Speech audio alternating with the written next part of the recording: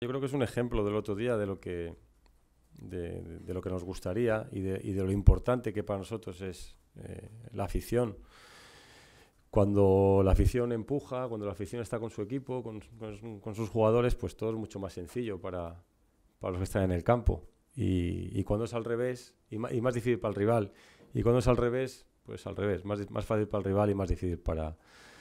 para los jugadores de aquí. Entonces, bueno, yo creo que es un, claro ejemplo de cuando vamos todos juntos, cuando vamos todos de la mano, pues eh, es mucho más sencillo eh, conseguir los objetivos, ¿no? Así que nosotros estamos muy agradecidos a la gente por,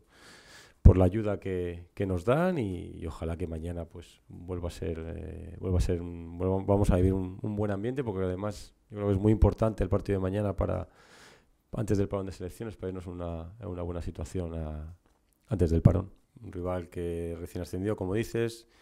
que lo está haciendo muy bien. El último partido de liga, si hubiese, si hubiese ganado en casa, se hubiese puesto líder. Por lo tanto, ya llevamos unos cuantos partidos de liga, no llevamos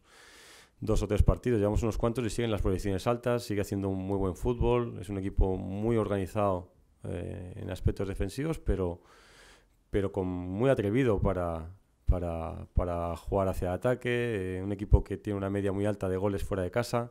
bueno, nos, vamos, nos va a presentar muchas dificultades. Esos dos últimos partidos, eh, esas victorias, esos buenos ratos de juego, yo creo un poco eh, lo que nos gustaría es que eso pasara más, eh, más a menudo, que pasara durante más tiempo,